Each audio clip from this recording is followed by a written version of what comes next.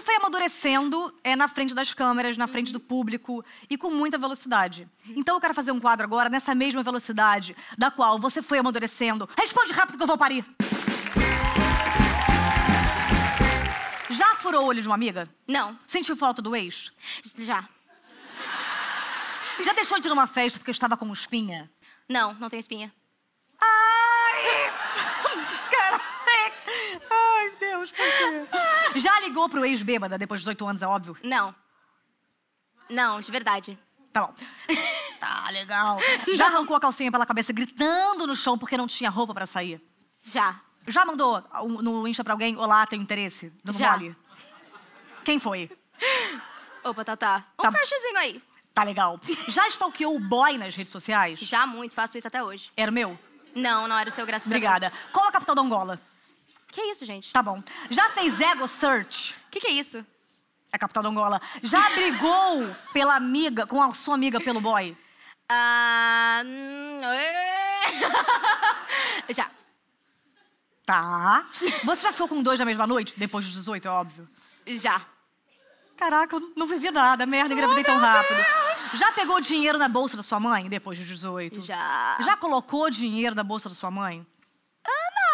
Ah. Pode pôr na bolsa da minha. Já se cagou em público? Ai, meu Deus. que Situação. Sério? Olha, eu não... Ai, não, eu não lembro se foi Mas um público, cagada, mas- tipo, caraca, tô na terra, ou Tá, tá, olha. só um... Só um... Agora estou, inclusive, Ai, que aqui com delícia. você. Ai, que horror. Não, Ah. mas eu já fiz xixi no palco, num show, desesperadíssima. Aí eu comecei a usar fralda depois. Nos shows. É sério, gente, que a gente bebe muita água. Sim, é normalíssimo. Eita, eu, Larissa eu estranha. bebo muita água, a gente canta, bebe uma aguinha. E aí vai cantando, o diafragma aqui vai apertando aí.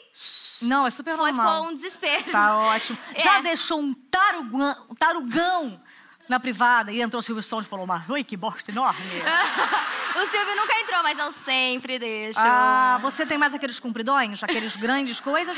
Ou é mais uma coisa mais... Amor, eu fico Pipocada. algum tempo sem ir no banheiro. E aí, quando vem, menina, vem um negócio... Esses dias eu até fiquei impressionada. Eu falei... Prisão de ventre? Que que é? Jura? Não, mas calma aí, mas você já teve, por exemplo, hemorroida? Não, nunca tive. Quer graças uma? Eu tô com duas.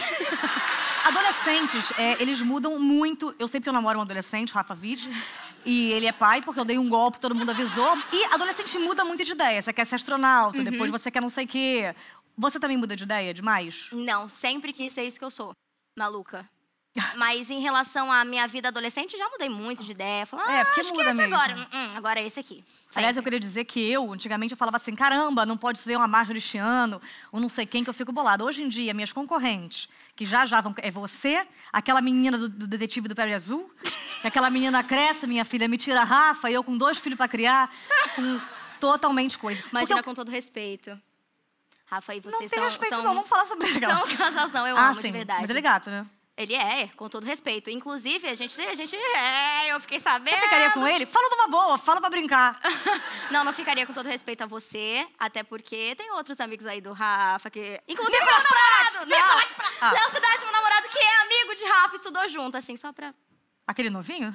É. Aquele novinho, teu namorado, estudou com o Rafa? Exato. Ah, Deus!